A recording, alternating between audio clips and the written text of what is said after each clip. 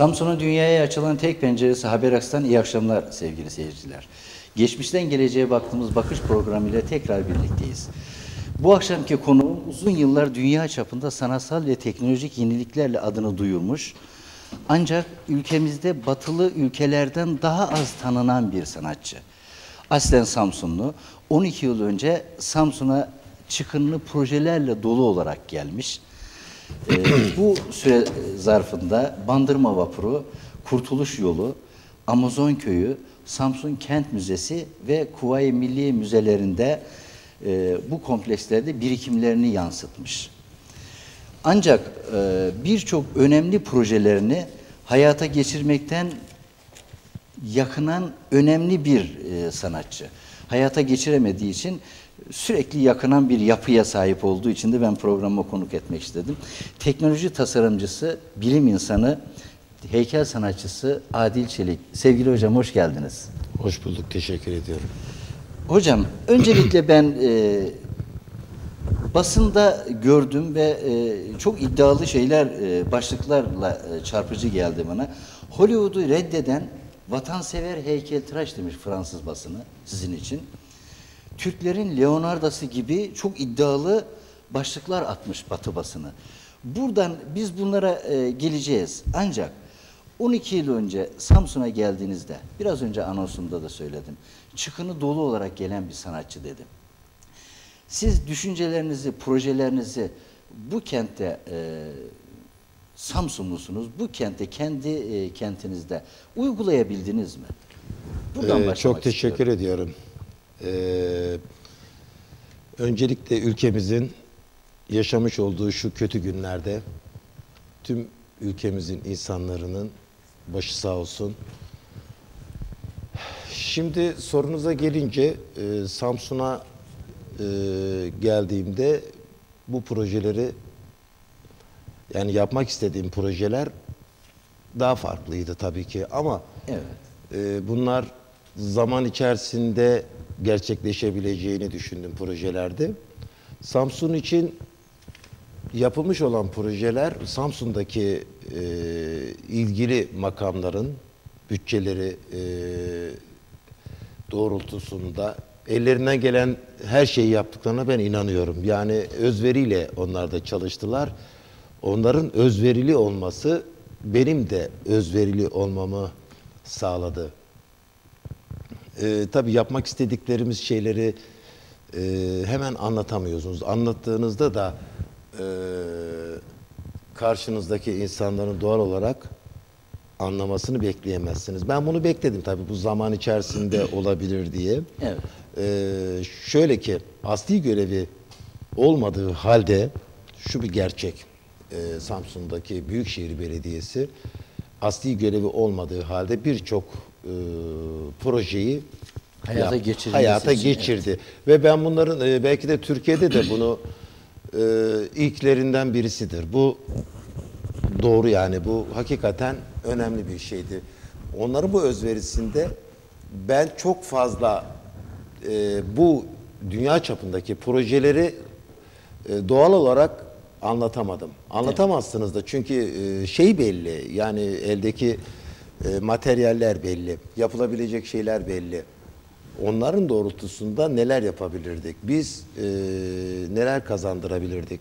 Bunun çabasının içindeydik. Bu çabayla, bu e, özveriyle bunları yapmaya çalıştık. Şu günlere de o şekilde geldik. Ama bir hayli projeye de imza atmışsınız hocam. Biraz önce onları saydım. Yani e, Kent Müzesi, işte Ata Yolu, Kurtuluş Yolu dediğimiz. Samsun'un e, şimdi şöyle bu projeler elbette ki Samsun için önemli ama asıl yapmak istediğimiz projeler Samsun'un e, Samsun olması Türkiye'nin e, Paris'i.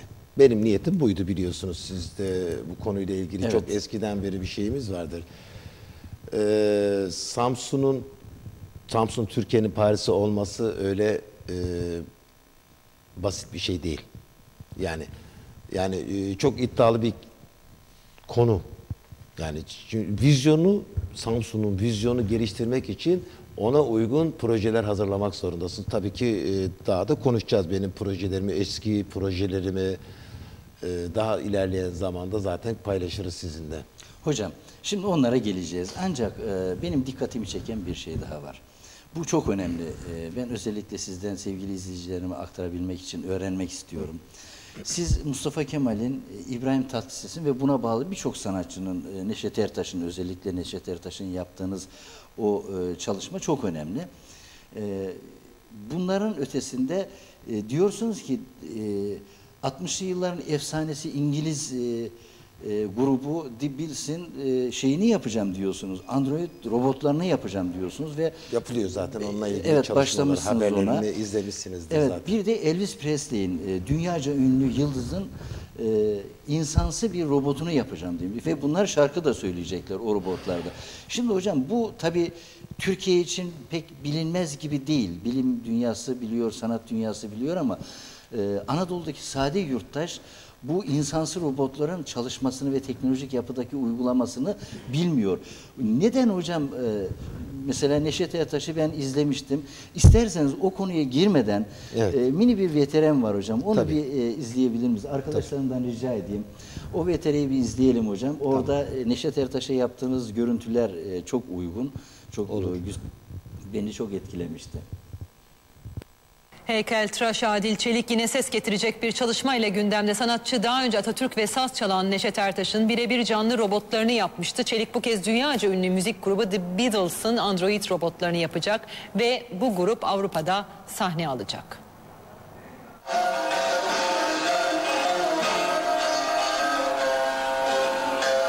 O, unutulmaz isimlere hayat veriyor. Atatürk ve Neşet Ertaş'ın birebir canlı robotlarını yaptı. Ünlü heykeltıraş Adil Çelik şimdi de dünya ünlü müzik grubu The Beatles'ın android robotlarını yapacak. 60'lı yılların efsanevi İngiliz grubu The Beatles, Adil Çelik'in bu projesi sayesinde Avrupa'da yeniden sahne alacak. Grup üyeleri canlı gibi hareket edip şarkı söyleyebilecek ve mimikleriyle gerçeği aratmayacak. Grup sahnede 7 şarkı seslendirecek. yüzde yüz e, insan görünümünde olacak. Hareketler oldukça doğal. Robot gibi olmayacak. Usta heykeltıraş Adil Çelik, Türklerin Leonardo'su olarak biliniyor. Sanatçı, dünyanın ilk insansı android robot çalışmalarına 25 yıl önce başladı. En son yaptığı Neşet Ertaş'ın saz çalıp türkü söyleyen insansı robotuyla büyük beğeni topladı.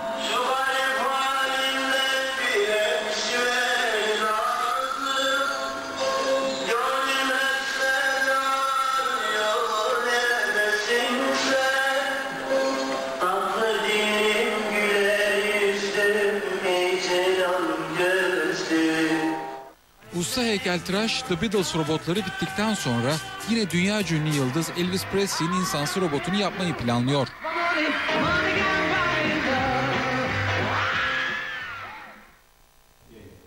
Evet sevgili hocam, e, burada da gördüğümüz gibi bu VTR'de siz şimdi e, başladınız bu çalışmaya. E, The Beatles ve Elvis Presley'i yapmaya başladınız. Şimdi tabii Bu teknik yapıyı bize kısaca anlayabileceğimiz düzeyde özellikle izleyicilerime aktarmak istiyorum. bunu. Neşet Ertaş'tan örnek vererek Evet. e, verdi. Orada e, haberde izlemiştik. Şimdi şöyle Neşet Ertaş çalışması, Android insansı robotu çalışması bu Beatles dediğimiz grubun e, çalışmasıyla farklı bir e, çalışma. Arasındaki farklar, öncelikleri e, çok farklı. Elvis Presley olsun, Beatles olsun bu tarz çalışmalar çok üst düzey bir çalışma. Üst düzey çalışmalar ülkemizde yapmak oldukça zor. Ee, ülkenin ekonomik bu alandaki şeyleri e, nasıl söyleyelim imkanları el vermiyor. Bu açıkça net. Mevcut imkanlarda yapılan bir çalışmaydı Neşet Ertaş e, çalışması. Oradaki e, görüntüdeki e, çalışmada da e, diktat e, şöyle bir şey var. Saz çalarken parmaklarının e, çok fazla oynamadığını görebilirsin. Çoğu dikkat etmeyebilir. O da e, bulunduğu yerde sürekli çalışacağından dolayı Türkiye'deki e, şeylerimiz biraz da böyle. Günde 24 saat 7-24 bir şeyleri çalıştırmak, e, insanlara göstermek amacıyla, yıpranmaması amacıyla onları biraz daha şey yaptık ki yıpranmasın. Aksi takdirde sürekli e, yıpranabilir çünkü bu hareketler. Onun için ona biraz kısıtladık. O çalışmadaki görüntüler, videodaki o yüzden biraz e, daha yavaştır. Bazı çalışmalar daha yavaştır. Şimdi şöyle, Beatles veyahut da bir başkası. Bu çalışmalarda insansı e, olmasındaki şey şu. Gerçeğe çok yakın olması. Yani bakıldığında o grubun tekrar 45 yıl sonra e, dünyadaki hayranlarıyla ki dünyanın en büyük gelmiş geçmiş en büyük müzik grubudur. Bunu tekrar insanlara e, o sahneyi yansıtmak, o yılları yansıtmak, o atmosferi tekrar yaşatmak çok önemli. E, bu tip çalışmalar o ülkenin e, tanıtımına, e, onun hayranlarının gelip orada görmesine sebebiyet verecek. Tabii bunlar bir e, her biri ülke ekonomisine, ülke turizmine, ülke kültürüne, ülkenin sanatına katkıda bulunacak şeylerdir. Bu tip çalışmaları ben e, uzun zaman, çok uzun yıllardır benzeri çalışmalar, çok daha e, konuşacağımız şeyler var. Uygulayamadım ülkemizde. Bizim sorunumuz bu zaten. Biz önce yurt dışında kendimizi ispatlayacağız. Dediler ki e, siz önce yurt dışında kendinizi ispatlayın. İlkleri oraya yapın. İkinciyi, üçüncüyü gelirseniz burada yapın. Biz bu özgüveni henüz kazanamadık. Bizim sorunumuzun bir tanesi bu.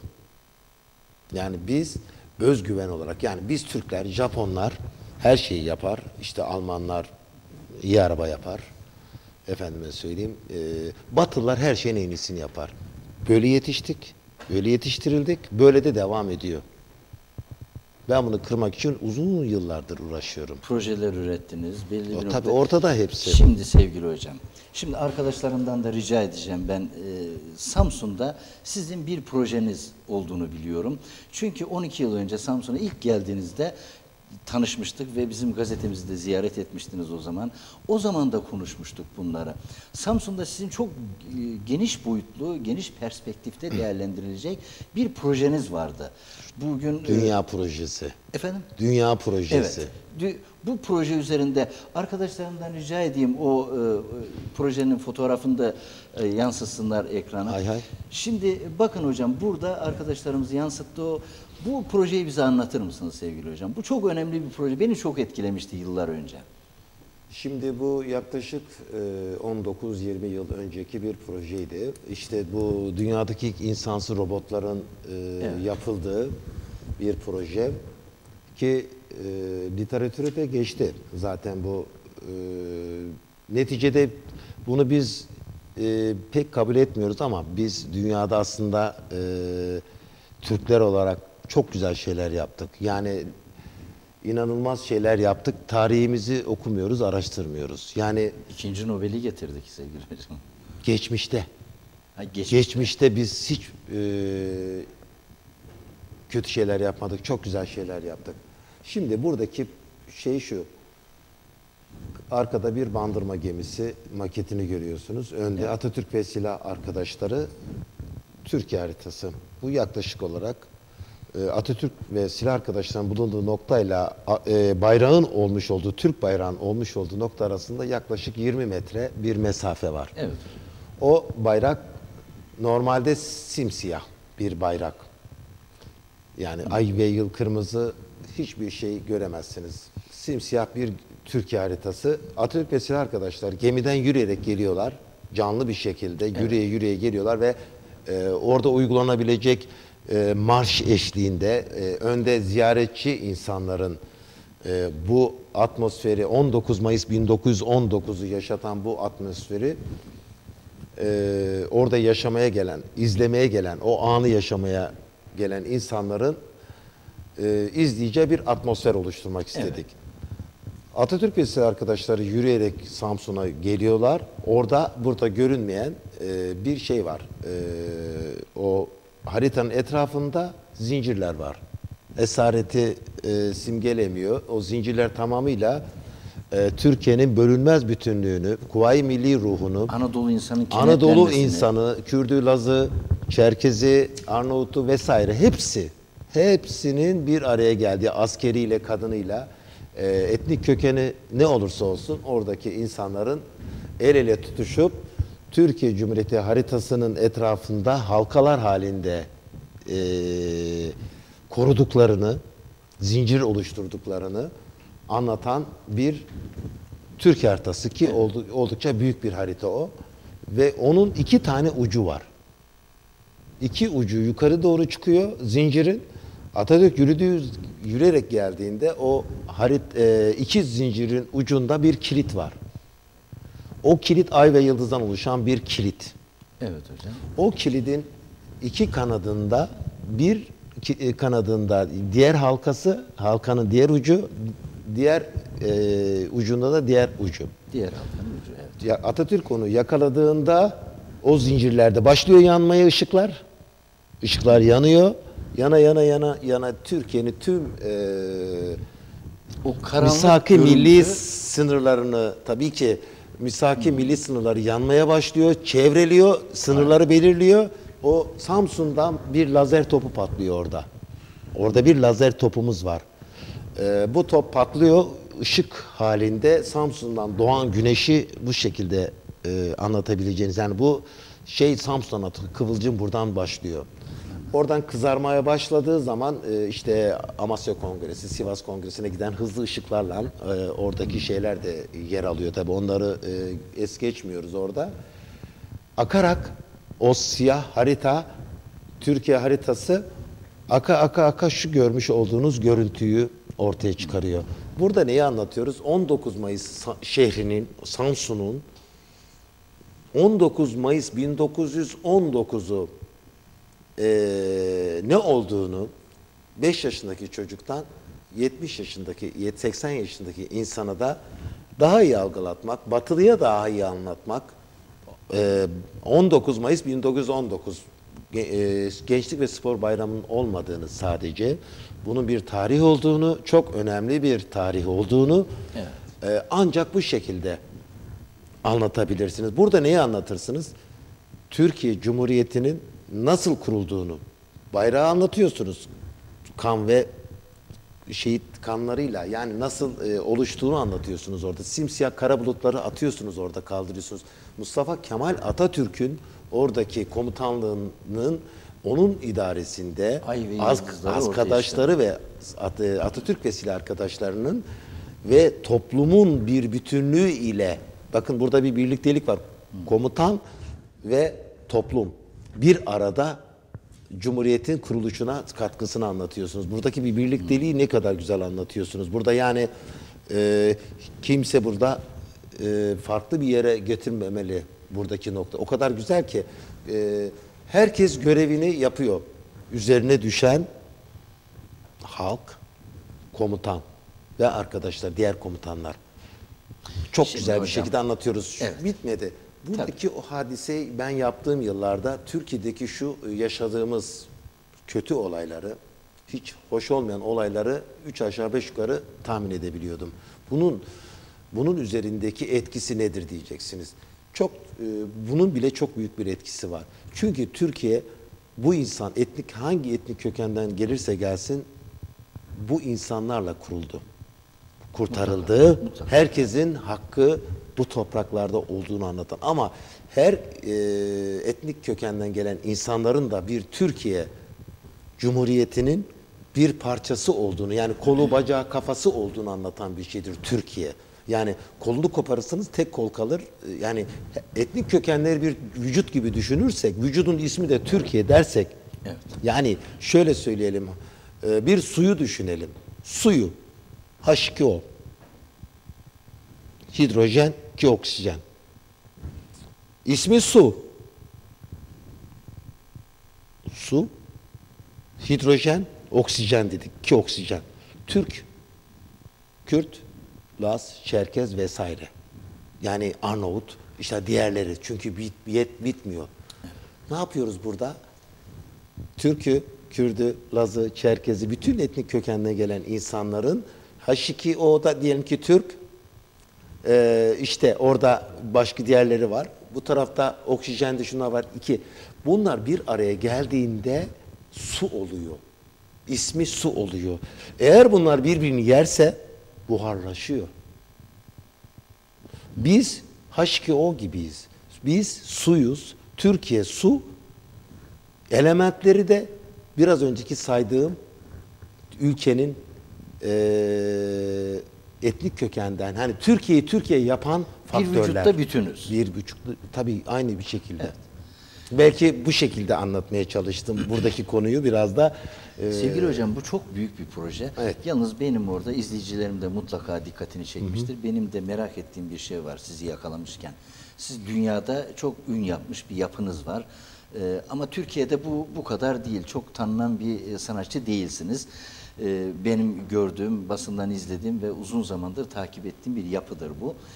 Burada heykellerin e, teknolojik gelişimlerle, dijital dünyanın gelişimleriyle birleştirerek onu yürütmeyi, şarkı söylemeyi ve konuşturmayı e, başarmak, becermekten öte Batı'da ve Amerika'da, Japonya'da bu teknoloji nasıl, Türkiye'de nasıl hocam? Burada bir iki cümleyle anlatın. Türkiye'de bu teknoloji e, çok e, üst düzeyde, ileri düzeyde değil. Şu anda e, birçok alanda çalışmalar yapılıyor ama biz burada neden bahsediyoruz? 20-25 yıl öncesinden bahsediyoruz. Ki o dönemlerde şey yoktu yani dijital teknoloji yoktu. Daha çok biz bunları analog teknolojiyle e, ondan sonra yazılım teknolojisi e, yoktu. Yazılım teknolojisi olmadığı için daha çok e, mekanik teknolojisini çok daha ön plana Ağırlık çıkarttık tabii ki e, doğal olarak. E, şimdi biz yine e, tabii ki biz o dönem bu istediklerimizi yapabilecek e, bahsettiğim yıllarda e, ki maalesef e, şey vardı o zaman e, yine farklı bir sorunlarımız vardı. İşte kiminle muhatap olacağınızı bilemiyorsunuz. Hükümetler, e, o koalisyonlar, şunlar bunlar. E, gidiyorsunuz Kültür Bakanı'ndan randevu alıyorsunuz. E, gidiyor bakıyorsunuz yerinde başka birisi var.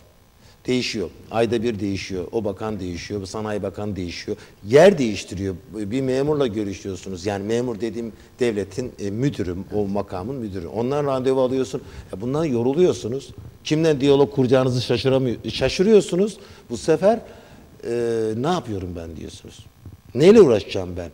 Yani onların gelip beni bulması gerekirken ben onları bulmak için mücadele E, ediyorum. Türkiye'deki sistematik yapı biliyorsunuz. Bu değişmedi. sanatçıya yeterli düzeyde eğilim sağlamıyor. Onu biliyoruz. Ama şimdi Türkiye'nin dünyadaki e, baktığınızda e, ki durumuna bakıyorsunuz. Gelişmiş ülkeler arasındaki sıralamasını ben e, söylemeyeyim burada.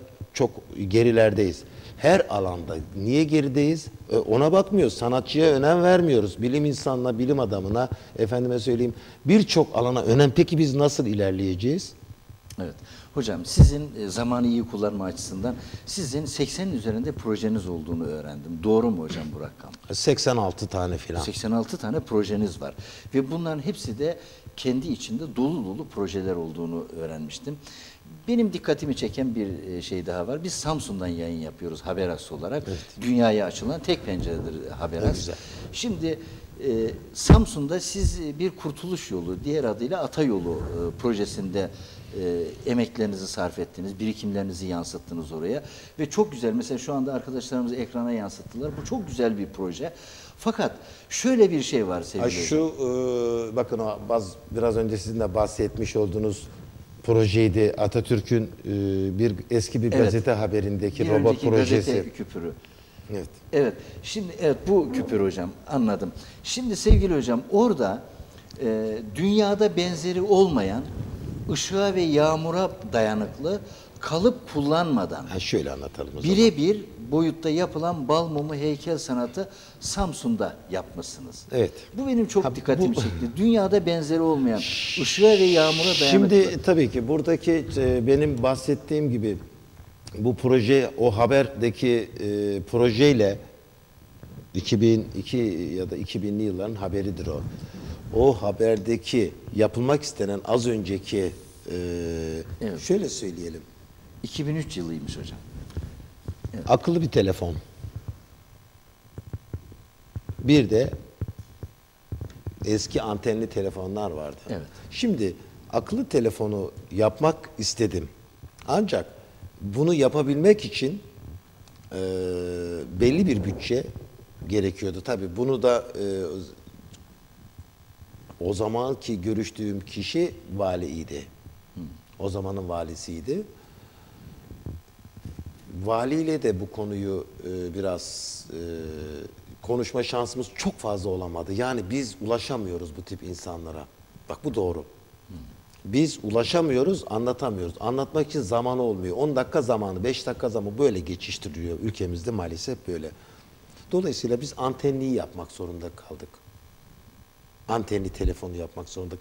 Akıllı telefon, S vesaire şunlar bunlar var iken bunları daha da geliştirdik biz tabii bu zaman e, içerisinde. Şöyle bir şey. Bahsettiğiniz mevcut heykeller dünyada yapıldığı tarihte dünyada ilkti. Evet. Bunun ilk olmasının sebebi şuydu. Ee, o tarihte sağ olsun e, Büyükşehir Belediye Başkanı Yusuf Bey e, böyle bir riski aldı. Çünkü yapılmayan bir şeydi Yusuf Bey. e, yani ya böyle bir şey görmedik dedi. Yani bunu yapacaksınız ama biz de rezil olmayalım. Burada burada güven de vardı. Bak bu çok önemli. Yani başkanın arkamda durup da bu konuda e, yani buna destek olması çünkü oraya bir emek verildi. Şuydu netice. Bronz yapabilirdiniz oraya. Çok kolaydı. Fiberden, polyesterden yapardınız. İşte simsiyah vesaire bronz renginde yapar. Bu kolayıydı. Orada öyle bir şey olmalıydı ki gerçekçi olmalı. insanların ilgisini çekmeli.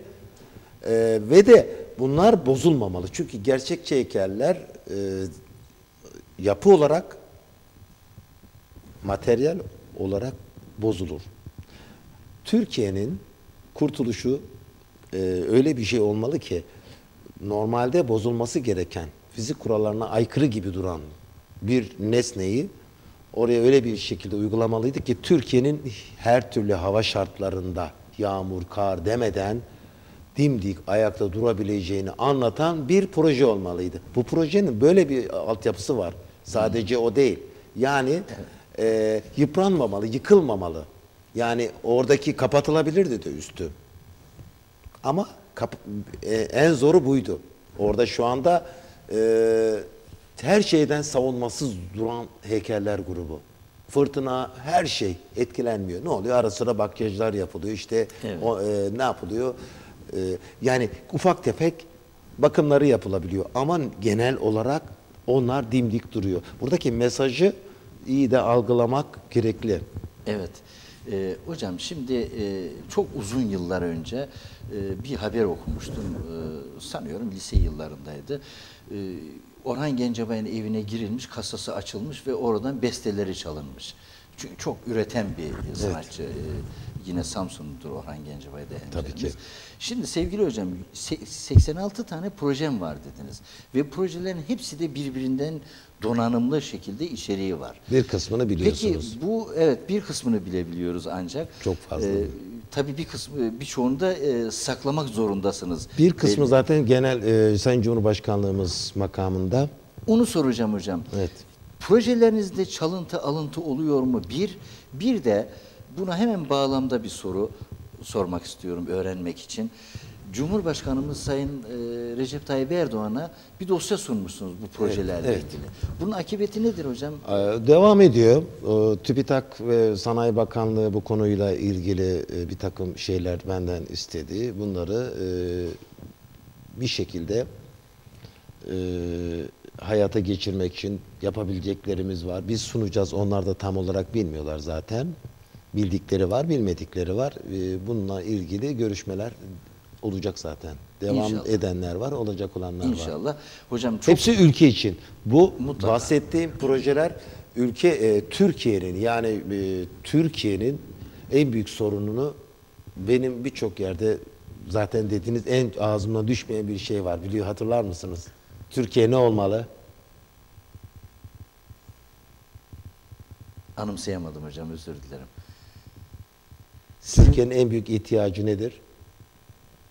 Marka. Ha marka e, evet evet evet. Şimdi Türkiye'nin Türkiye'yi mark- marka yapmak. Evet. Türkiye'de marka Türkiye'nin marka olması gerekiyor. maalesef, Türkiye'nin kurtuluşu zaten marka olmamak. Yani marka olmakta e, gizli. Türkiye marka olduğu an mevcut e, sıkıntılardan da zaten Siz onun üzerinde çok duruyorsunuz Evet. hocam yıllardır. Evet. Ee, ki e, Batı ile entegrasyonu sağlamak ya da Batı'daki gelişim, sanatsal ve teknolojik gelişimlere ulaşabilmenin marka olmaktan geçtiğini E, tabii ki. sürekli söylüyorsunuz. Tabii.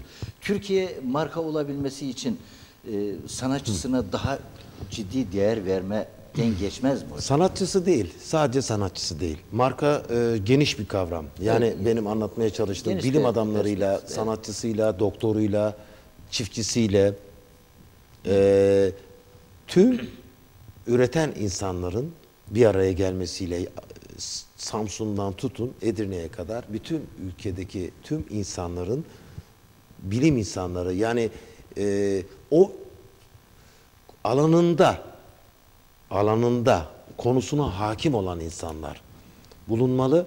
Bunlar bir konsensüs sağlamalı. Yani bu konsensüs kimle sağlanmalı? Devletin seçmiş olduğu e, insanlar tarafından koordine edilmeli ve bu insanlar ülke için neler yapabiliriz? Bu ülkeyi nasıl ileri götürebiliriz? Sanatçısı ne yapabilir? Katkı nedir?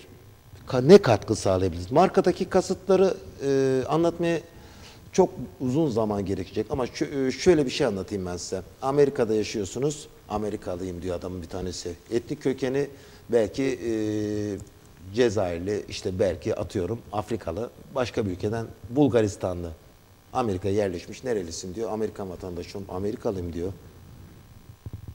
Sormuyorsunuz kökün ne diye. Amerikalıyım diyor. Niye diyor? Gurur duyuyor, gurur duyuyor. ama Yaşadığı ülkeden gurur duyuyor. Marka. Amerika bir marka. Almanya bir marka. Niye marka? Yaptıklarıyla marka. Evet, Fransa, İtalya, Biz marka değiliz. Eğer biz araba üretemiyorsak, caddelerde bir sürü baktığımda ben ya keşke bizim de bir arabamız olsun diye içimi geçiriyorsam, üzülüyorsam, işte e, akıllı telefonlardan, teknoloji, size ben 7000 küsür teknolojik alet sayabilirim. Fotoğraf makinesinden fotokopi makinesine kadar iğneden ipliğe hepsini hiçbirini yapamıyoruz. Yapamadığımız ve Kore, Japonya bunlar belli. Hiçbir kaynakları yok. Yeraltı kaynağı bilmem nesi hiçbir şeyleri yok. Ve adamlar dimdik ayakta. Halk mutlu. Biz dünyanın en mutsuz iki- İslam geri- ülkesinde en mutsuz 36 tane biz İslam ülkesinin içinde OECD'nin raporlarına göre Evet. İki ülkeden Korkunç birisiyiz. o raporları biliyorum hocam. En verimli topraklarda en e, verimsiz Niçin? Üretmiyoruz. Üretmiyoruz, mark olamıyoruz. Benim alanıma gelelim. Benim alanıma gelelim. Ben bu alanda bir kompleks kurmak istedim. Kompleks nedir? Bir entegre oluşturmak istedim. Sanatçılar aradığım, işte bizim alanımızda heykelde, işte e, teknoloji alanında. Tam da ona gelecektim. Sizin hep amacınız bilim ve sanat kompleksi kurmak. Evet. Hep bunu hayal Evet. ediyordunuz ama bu e, bakış perspektifiniz değişmedi herhalde. Değişmedi, sadece yıllar geçiyor. Sadece zaman kaybettiniz. Çok fazlasıyla. Türkiye'de, Çok fazlasıyla. özellikle Samsun'da. Hemen Türkiye'de deyince e, bir şeye geleyim hocam. Siz Avrupa'da en iyi heykeltıraş seçildiniz Fransa'da. Şimdi şöyle, ben öyleymiş. Evet. Ee, benim bu tip şeylerle çok fazla üzerinde durmuyorum. Şu- Açıkçası şöyle Biliyorum söyleyeyim. çok e, mütevazısınız Avrupa, o konuda. Avrupa'nın e, veyahut da dünyanın bir takım şeyleri e, bir şeyleri e, seçmesi veyahut da seçmesi çok önemli. Bizde bu var. Yani tamam bu biz bir nirengi noktası ya da bir yere bir e, şey yapıyoruz. Nasıl söyleyelim? E, bir yerden desteklenmeyi seviyoruz. Poppoflanmayı da seviyoruz toplum olarak. Bu bunlar bizi ileri götürmez. Evet. Şimdi hocam e, zamanı iyi Yani kullanma bizim açısından bizim piri reisimiz işte İbn Sina'larımız var iken biz Avrupalı İbn Sina'yı da biliyor. Çok İbn Sina'yı bir defa bu ülkenin insanı en basit. Bir sürü alimlerimiz var. Bunları ortaya çıkartmak için e, çaba göstermeliyiz. Yani Avrupalı da bunu biliyor. Avrupalı belki o zamanda onları da belki e, basın olsaydı onları da belki şey yapardı da Evet. Hocam onlarda var mı projenizde bu e, Tabii ki bizim Android toplumumuz, çalışmalarınızda? bizim toplumumuz, bizim toplumumuz tarihini bilmiyor. 5000 yıllık bir e, biraz önce bahsettiğim su suyu bilmiyor, suyu. Hidrojen, oksijen nasıl oluşmuş? Evet. Bu suyu anlatmamız gerekiyor. Bize değil, 5 Şimdi- yaşındaki çocuğa, Amerikalısına, Rusuna, Balkanlara, Orta Doğu'ya biz buyuz demeliyiz. Bunu nasıl yaparsınız? Üreterek yaparsınız. Nasıl yaparsınız? Aha dersin. Hocam siz sadece heykel sanatçısı olmasının ötesinde Tabii ki değil. bilimsel bir takım çalışmalarınız oldu. Tabii, önemli olan o. Birçoğunu da hayata geçirdiğinizi biliyorum. Yok, geçiremedim. e, bir, az da olsa birçoğunu geçirmişsiniz. E, Türkiye'nin e, ilk deprem uyarı cihazını yapmışsınız ve e, rahmetli Profesör Doktor Ahmet Mete Işıkar'a e, ya vermişsiniz bunu. Bu nasıl oldu hocam? Bu konuda bir çok kısa alabilir miyim? Daha Ya, çok öğrenmem gereken tabii şeyler ki var. Türkiye bir deprem ülkesi. Evet, deprem Malumunuz doğru. Samsun'da birinci dere- derecede bir deprem e, kenti. Bunu da ben bunu yapan bir insan olarak biliyorum ki e, Samsun'da birinci derecede e, bir noktada Kuzey Anadolu fay hattı da buradan geçiyor ki ciddi anlamda e, eylem ve boylam düzlem, e, düzeneğinde de kötü bir yerde. Ladik biraz daha kötü bir yerde ama neticede Samsun da buradan e, nasibini alır. Allah korusun. Ona göre tedbirli de olmamız lazım. Şimdi e, hocamıza onu verdim. Şöyle ülkemiz 19 1919 e, şey 99 depremiydi. Kendilerine verdim. Kendisine dediğim şey şuydu. Hocam bu cihazı yaptım. Evet. Bunu ülke arge çalışmasını uğraşacak zamanım yok benim. Yani ben tekerleği buldum. Siz arabayı yapın ya da yaptırın ki bu yani ben bununla uğraşırsam diğer projelerle uğraşamam. Bakın bunun getirisiyle uğraşmıyorum. Getirisi peşinde değilim. Bunun ülkeye nasıl bir şekilde eee, katkısı olur? Bir sürü insan ölecek. Ya bu ne kadar insan kurtarırsak o kadar bizim için önemli. Ondan sonra bilmiyorum. Akıbeti hakkında hiçbir bilgim yok. Sonra da rahmetli oldu zaten Işıkara. Evet. Öyle kaldı. Evet. Hocam çok klasik bir soru gibi gelir ama birçok çalışmalarınız, birçok eserleriniz var. Hatta e, dünyada ilk falan denen eserler var. Türkiye'de ilk olan Tabii eserler var. anlatmayacağımız ve Evet. e, bazı sebeplerden dolayı anlatamayacağımız ilkler de var. Evet. e, o projelerinizi açıklamıyorsunuz. Ben onu e, biliyorum. Üstü üstü kapalı geçeriz. Evet. e, şimdi sevgili hocam e,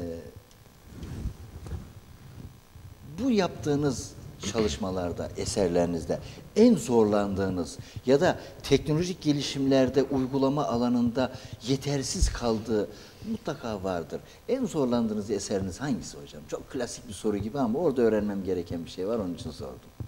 Bu teknolojik çalışmalarda mı? Evet. hiçbir şeyde zorlanmadım. Zorlanmadınız. Yok. Ekonomik olarak zorlandım. Çünkü çayın taşıyla çayın kuşunu vurma peşindeyim.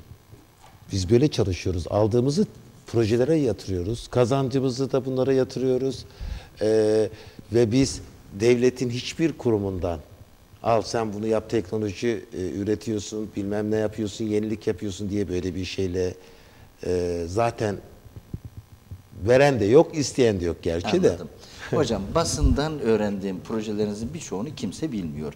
Ama e, tabii ne derece, hangi düzeyde onları bilmiyoruz. Ama basından öğrendiğim kadarıyla bir de dünyada ilk eğitim müzeleri projeniz varmış. Bunu çok önemsediğinizde Tabii. öğrenmiştim. Nedir hocam bu eğitim müzeleri projesi? Şimdi birincisi şu, Türkiye'deki e, Türkiye'nin en büyük sıkıntılarından biri eğitim. Mutlaka. Bir dişli dönüyor fakat dişli hep ters dönüyor. Dişli dönür, e, dönüyor görünüyor ama tersine dönüyor. Eğitim çok önemli. Bizim ülkemizin en büyük sorunları. Zaten biraz önce bahsetmiş olduğumuz e, eksik bakın. Hiç dolu bir şey anlatmadık. Bizim realist olalım. Dolu bir şey anlatamıyoruz. 7000 bin küsür e, teknoloji anlatıyorsunuz yurt dışında. Teknoloji, e, araba dahil bir sürü şey anlatıyor. Bizim tabii ki boş değiliz. Bir şeyler üretiyoruz ama birilerine bağlı bir şeyler üretiyoruz. Eğitimdeki şey şu. Bir üniversite 4 yıl eğitim veriyor öğrenciye. 4 yılda aldığı eğitimi 4 aya indirgeme. Lise aynı şekilde. Yani e, sıkıştırılmış bilgi. Yani bilginin daha kısa sürede hazneye sokulması. Yani bir öğrencinin 4 yılda e, harcayacağı zamanı 4 aya indirmek. Bu bazı e, dallarda böyle. Yani anlatalım e, çok da anlatmak istemiyorum ama e, bakın yaşadığımız Ucundan yer, yaşadığımız yerin öyle bir sıkıntısı var ki yapmış olduğum birçok e, basit projeler bile tez oldu, çalındı. Bas, onu siz söylemeden ben söyleyeyim. Biliyorum hocam birçok üniversitede Şimdi konferanslar gereği yok. verdiniz. Gereği birçok yok. Ha, Buna çalışmanız gerek tez yok. oldu. Biz kendimize zarar veriyoruz. Yani yarım yamalak bir şeyleri çalıp yarım yamalak bir şeyler yapmak günü kurtarırsınız. Ülkeyi kurtarmazsınız. Biz ülkeyi kurtarmak için elimizi taşın altına koyacağız. Entegre olacağız. İmece usulü gibi yani ülkenin komple topyekün eğitilmesi gerekiyor. Köydeki, şehirdeki her yaştan insanlar.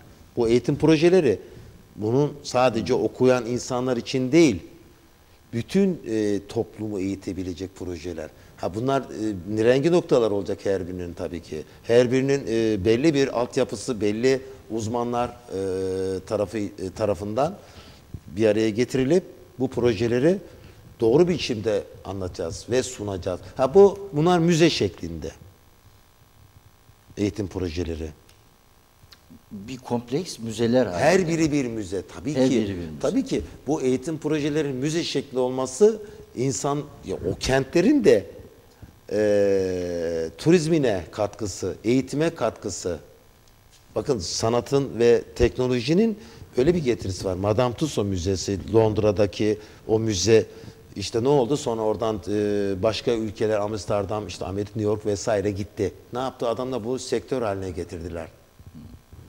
Milyonlarca insan gidiyor, müzeye de giriyor, lokantada yiyor yemeğini, otel motel yatıyor, döviz bırakıyor, sanatı öğreniyor, Londra'yı aa diyor böyle bir yer mi? Yani bakın bu sadece bir e, bir müze. Benim bahsettiğim yapılmamış müzeler, eğitim müzeleri. Bakın e, biz çok şey anlatıyoruz. Biz böyle sabaha kadar anlatabiliriz. Evet hocam Kültür Bakanlığımız var bizim biliyorsunuz. Bu ve buna benzer Evet. kültürel gelişimlerde o bakanlık bünyesinde toplanmış bütçesi olan Evet. ve e, e, faaliyeti olan bir yapısı vardır o bakanlığın. Kültür Bakanlığı'na bu projeleri götürdüğünüz zaman e, ilgi alaka diyelim onu kestirme ana başlıkla. Bu yapıyı göremiyor musunuz hocam? Yoksa o projelerin ki sizin e, bir- birçok projenizin dünyada takdir Kültür bakanları değişiyordu önceden. Değişsin hocam. Aslan Değişiyor, gidiyoruz. Tabii ki şimdi şöyle biz bir Kültür proje hazır. Ben vardır. anlatayım size. E, Bırakın Kültür Bakanlığı'nı. e, diğer bakanlıklarda, Sanayi Bakan e, başka alt birimlere inelim. Projeyi hazırlıyorum. Sunuyorum dosya halinde. Sonra size döneceğiz diyorlar. Bize dönmüyorlar. Sonra bir bakıyorsunuz ki ihalede bir ihale edilmiş. Falanca e, Kültür Bakanlığı ya da alt birim bir şey istiyor. Sizin öner sizin sunmuş olduğunuz Ha, evet, projeyi hocam. düşünmüş olduğunuz, sunmuş olduğunuz Devlet projeyi tutuyor, e, ihale ihale kurumuna ihale ediyor ve bakıyorsunuz bu nedir diyorsunuz. Her şey size ait ve alo dediğinizde de bu ihaleyi girmek için de başkalarıyla yarışmak zorundasınız. Bakın size ait olan bir Çok şeyi başkalarıyla yarışmak. E, Ben şimdi biraz önce bahsettiğim projeler hangi e, platformda nerede konuşacağımız da çok önemli. Sıkıntı ve ülkenin bulunduğu bu durum çok üzücü. Hocam sizin projelerinizin genel hatlarıyla ben bilincine vardım. Tabii bizim zaman e, sıkıntımız Tabii var ki. biliyorsunuz. Bunun için ben kesitlerle Tabii, tabii, girmek tabii. istiyorum.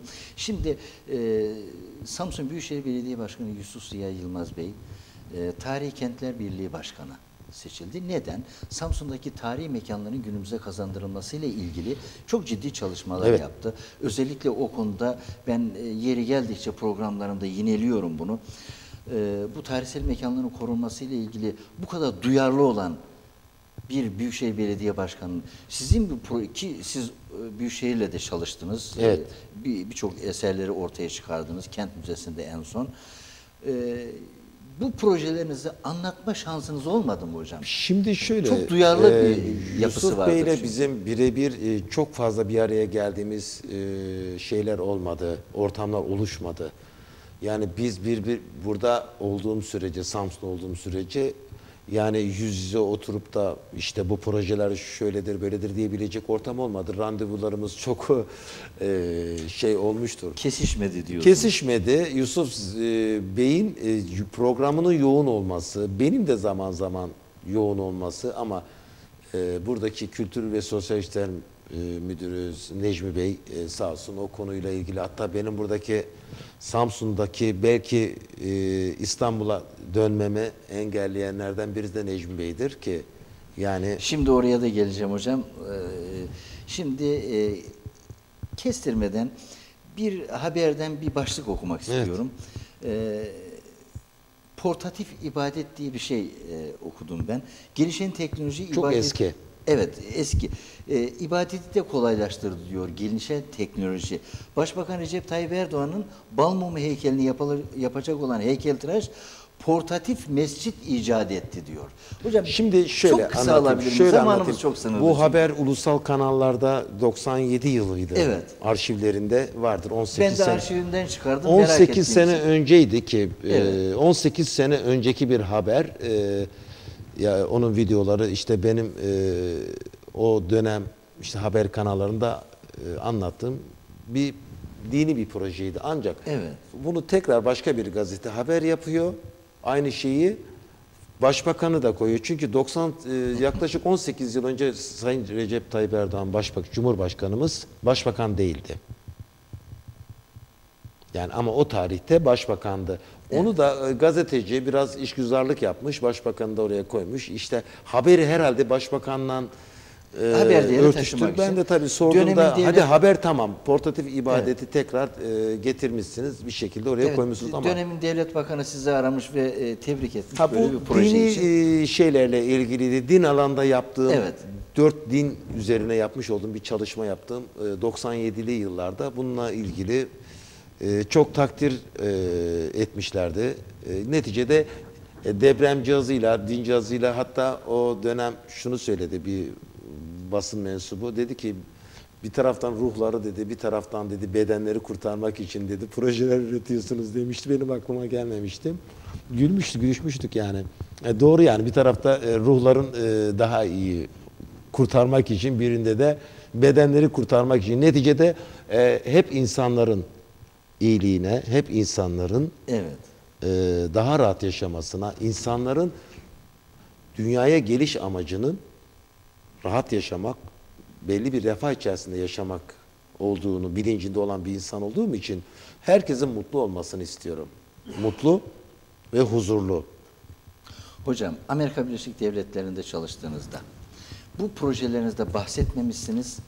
E, çünkü ben memleketime gideceğim. Bu projelerimi memleketimde uygulayacağım diye bir e, düşünceniz varmış. Şimdi yok şöyle e, benim öyle bir şey öyle demeyelim olayı. Bizim Walt Disney projelerini diyorsunuz siz. Evet. Walt Disney projesi e, sinema projesi. Evet. Sinema ve e, modern kent onu daha e, nasıl anlatayım ben size? Yani yurt dışına uygulamak istemediğim ama Türkiye'ye uygulamak istediğim projelerden bahsediyorsunuz. 86 projenin içerisinde işte Aynen onlar. onu bahsediyorum. Şimdi şöyle biraz önce Çok kısa alayım hocam, Tamam. zamanımız Biraz kısa. önce de onu bahsettim. Evet. Bizim bu e, kent müzesi, bizim yurt dışında e, bu bazı teklifler işte zaman olmadığı için şey yapmak istemiyorum. Bu kent müzesi ve sinema müzeleri. Amerika'nın en büyük üzerinde durduğu zaten sinema müzesi, sinema sektörü. Ben bu sinema sektörünü Türkiye'ye uygulamak istedim. Amaç buydu. 13-14 yıl e, geçmişi olan bir mevzu bu zaten. Ve Sinema Genel Müdürlüğü, Kültür Bakanlığı'na ben bununla ilgili doneleri zaten bıraktım. E bıraktım ama yine orada da değişiyor. Bıraktığın kişilerle bir daha görüşme şansınız olmayabiliyor. Yani bir şeyi yapıp da onun peşinde e, siz koşuyorsunuz. Bu bir defa hata. Bizim, ben hiç önemli değilim. Benim gibi birçok insanlar Batı'da nasıl hocam bu? Batı'nın her tarafı gelişmiş batı demeyelim gelişmiş batı Gelişmiş nasıl? ülkelerde. Gelişmiş ülkelerde e, değer veriliyor. Yani bilgiye, sanat ne olursa olsun bilgiye değer veriliyor. İnsana e, hakikaten e, yaptığı şey önce e, sınılıyor. Bizim e, çok basit bir örnek vereyim ben size hiç konumuzun dışında. Almanya'ya ilk ne zaman işçi gönderdik? 60'lı yılların başında. Türkiye'nin elit tabakası mı gitti? Hayır. Yoksul kesim, Anadolu'daki yoksul insanlar. Onları hazmetti mi Almanya? 90'lı yıllarda falan artık iyice vatandaş O olan- anlamda demedim. O bizdeki e, şöyle diyelim mi? Gelişmemiş, daha az gelişmiş, daha az kültürlü insanlar gitti. O kültürlü Almanya onlar alıp işledi. İşledi, değerlendirdi. Değer- evet. salmadı. O insanları orada oraya adaptasyonunu sağladı. Biraz önce bahsetmeye çalıştım. Onları adapte eden bir batılı peki bilgisi olan insanı ne yapmaz? Kapar. Evet. Yapmıyor mu? Bugün Nobel ödülünü alan hocamız da en basit örneği buradan gitmeseydi o Nobel alamazdı ülkedeki şartlarla. Bulamazdı. İşte Mümkün. Amerika'da Amerika'nın e, balış, e, gelişmiş ülkelerin olayı bu. Gelişmiş ülkede bana sunulan imkanları ben biliyorum. Ama ben buradaki imkanlarla burada e, bu ülkeye bir şey mal etmeye çalışıyorum. Bu ülkenin buna ihtiyacı var. İkinci Nobel'den bahsedince hocam hemen zamanımız bitti aslında bizim şu anda. İtalya Milano'da e, müze projenizi iptal edip ben ülkemde O projeler- eski Samsun evet, olayı. Evet, Samsun'a gideceğim ve benim e, memleketim, babadan memleketim. Evet. Orada hizmet edeceğim. Bu projelerimi orada uygulayacağım diye Samsun'a geldiniz. Birçok projeyi ucundan da olsa uygulama şansını elde etme eder gibi oldunuz ama maalesef dağarcağınızda bir yığın proje olduğunu ve yeterli düzeyde projelerinizi uygulama alanına geçmediğini Tabii tabii. e, Yok, geçecek işte hani bunları biz yurt dışına hazırladık. Şimdi, Şimdi, yurt dışı için. ikinci Nobel alan e, bilim adamımız e, hekim biliyorsunuz. Tabii. Ve e, kanser araştırmasını ben burada yeterli zemin yok Türkiye'de. Evet. Onun için Amerika'ya gittim Doğru. diye bir açıklaması vardı Doğru. basından öğrendim. Siz de şimdi tam yeri gelmişken siz de Samsun'u terk edip artık ben gelişmiş ülkelerden birine gideceğim diye Ben- basında duyduğum haberler var. Şöyle Ne derece doğru? gelişmiş e, ben onu daha önceden e, o şansımı e, buraya bu Türkiye için kullandım zaten. Tekrar oraya gitmek gibi bir şeyim yok. Ha o ülkelere karşı çalışma şansım var. Onunla ilgili zaten çalışmalar şu an zaten devam ediyor. Hocam çok teşekkür ederim. Sizin projelerinizi ve sizi konuşmak böyle bir saate sığdırılmayacağını ben çok iyi biliyordum. Ama e, Samsunlu ve özellikle bizi izleyen dünyadaki bütün e, insanların sizin projelerinizin genel perspektifini, içeriğini net öğrenebilmesi açısından ucundan da olsa bir katkı verebilmek Tabii için ben e, 86 projeden bir iki tanesini Evet, e, çok bir saate sığdırdıysak Çok teşekkür ederim hocam. Estağfurullah. Beni Ben çok teşekkür geldiğiniz için. Ee, e, sevgili seyirciler, geçmişten geleceğe baktığımız bakış programımızın bu akşamki konuğu Adil Çelik idi.